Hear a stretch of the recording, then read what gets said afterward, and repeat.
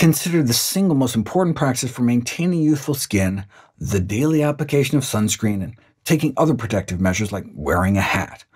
All the other things you can do for your skin pale in comparison, especially for those with pale skin. Up to 90% of visible facial aging among people with lighter skin tones is due to exposure to sunlight.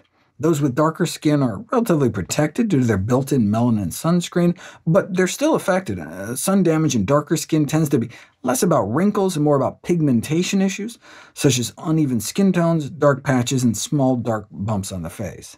Either way, dermatologists now agree that there is nothing more important to slow the signs of aging than to protect your skin from the sun.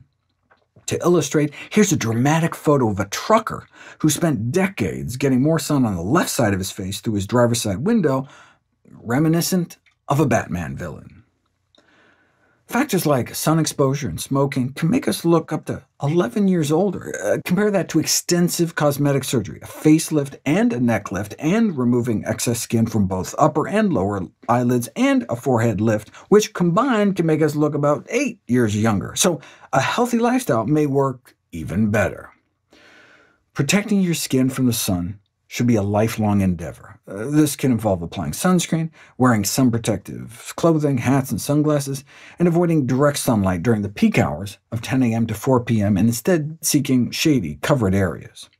Sunbathing is frowned upon, even with sunscreens like zinc oxide or titanium dioxide that offer broad-spectrum protection against both UVA and UVB rays. Uh, we now know that other wavelengths, such as near-infrared, that are not covered by sunscreens also contribute to skin aging.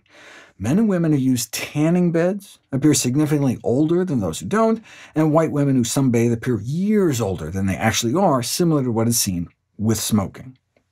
UVA rays are primarily responsible for skin aging, whereas UVB are the rays that cause sunburn, but a broad-spectrum sunscreen covering both is recommended since both types of UV contribute to cancer risk. To prevent skin cancer, the American Academy of Dermatology recommends sunscreen with an SPF of 30 or higher, but an SPF even as low as 15 can help prevent skin aging. How do we know? Because it's been put to the test. Despite the widespread belief that the use of sunscreen would prevent skin aging, all we had was data on hairless mice. That is, until 10 years ago.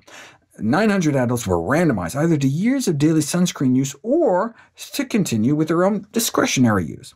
It was considered unethical to withhold protection by giving people placebo sunscreen.